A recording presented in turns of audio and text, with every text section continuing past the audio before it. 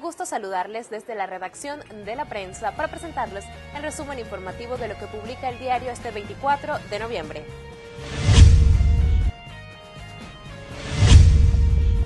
Luego de que el presidente de la República, Ricardo Martinelli, anunciara el traspaso de la operación de la planta potabilizadora de Chilibre a la autoridad del Canal de Panamá, la reacción de los trabajadores del Instituto de Acueductos y Alcantarillados Nacionales no se hizo esperar.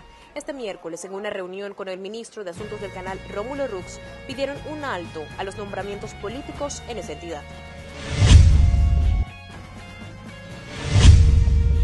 Justicia francesa aceptó la extradición a Panamá del ex general Manuel Antonio Noriega, que compareció ante el Tribunal de Apelación de París. Le corresponde a Panamá ahora enviar un avión militar o autoridades policiales para proceder con la extradición, según el abogado de Noriega en Francia, Olivier Metzner.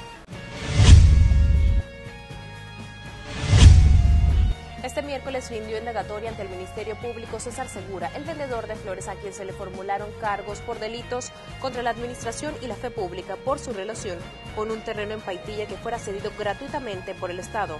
A su llegada al Ministerio Público, Segura dijo que demostrará su inocencia.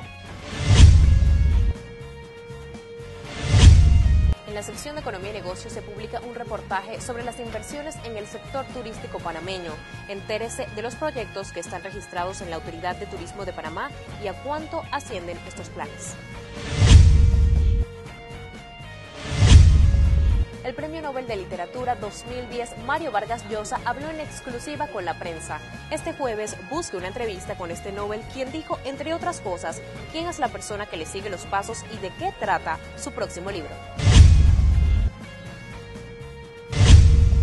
Recuerde visitar todos los días prensa.com, el sitio oficial de la prensa, el diario libre de Panamá.